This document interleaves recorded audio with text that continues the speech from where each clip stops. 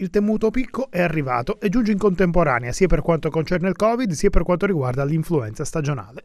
I numeri crescono, le richieste, le chiamate ai medici di medicina generale di conseguenza aumentano.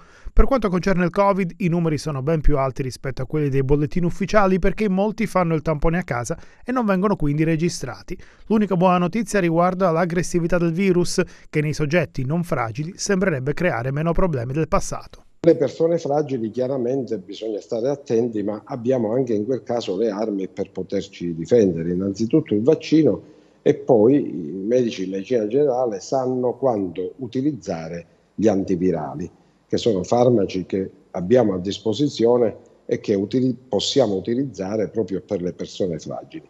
Anche l'influenza stagionale sta raggiungendo il picco in anticipo rispetto al solito e un po' a sorpresa in considerazione delle temperature finora decisamente miti.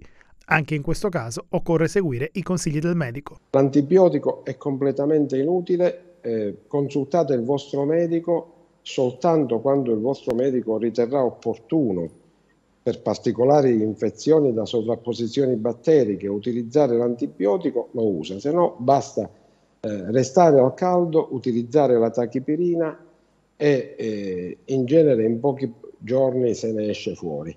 In questi giorni quindi i medici di base si trovano a far fronte di conseguenza ad una situazione decisamente complessa. In genere si parla sempre di pronto soccorsi affogati, pronto soccorsi al collasso. In questo momento al collasso ci siamo, ci siamo noi, ma eh, voglio dire, eh, siamo abituati nel periodo invernale a, a lavorare in silenzio, con correttezza, con tranquillità.